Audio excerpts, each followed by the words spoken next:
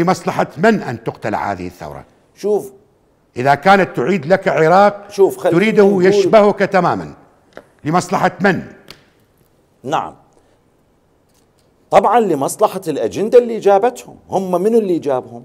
ابتداء هم جابتهم أجندة إقليمية ودولية. بعضهم جاب نعم. الأمريكان نعم. وبعضهم جاب المحور ال ال ال ال ال ال ال السعودي العربي القطري التركي ما أعرف مين الأمريكي البريطاني. وهو المحور الأشد فتكا. هذا اللي جابوهم الإيرانيين واللي جابوهم الأمريكان هسه الآن يعيشون صراع. العراقيين رفضوا هذا الصراع. العراقيين قالوا إحنا يا جماعة نريد وطن يعني إحنا ما رايدين حرب مفتوحة مع إيران بس بنفس الوقت إحنا ما نقبل وين ما نباوع بالشوارع نلقى صور خامنئي.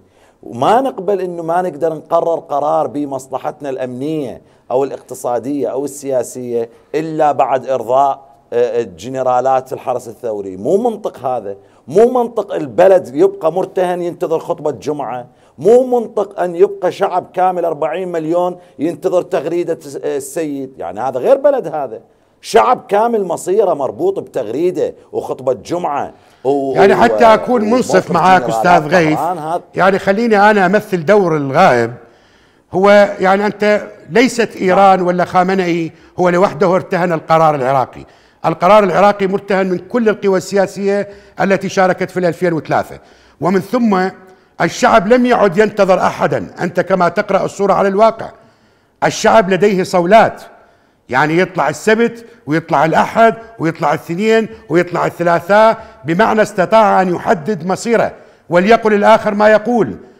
يتبع من يقول بأن العراق للعراقيين. أستثمر الوقت آه، نجم أرد أستثمر آه، ما تفضلت به وأقول للشباب.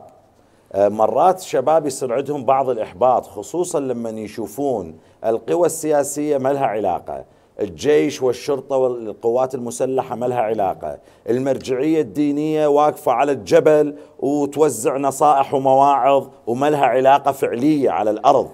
والميليشيات تفتك وما حد يحاسبها فيصير عندهم أحباط. أنا أريد أقول بشكل واضح للشباب يا شباب أنتم طلعتوا ثورة والثورة هذه يعني الثورة مو دائما إحنا لازم نكون محتفلين. ومو دائما نكون منتصرين ومو دائما نكون أقوياء ومو دائما الخصم مهزوم. لا الثورة بيها إرهاصات وبيها تحديات كبيرة. نعم. أنتم اليوم في مرحلة تشعرون بهزيمة نفسية أو إحباط بس خلوني أقول لكم أنا على تواصل مع القوى السياسية. هنالك هزيمة أكبر ألف مرة لدى المنظومة السياسية الحاكمة. هنالك هزيمة إيرانية كبرى في العراق. هناك هزيمة للإرادات الدولية المدمرة في العراق. لكن أنا أقول لكم هم كل عنباتهم حطوها بسلة حكومة محمد توفيق علاوي.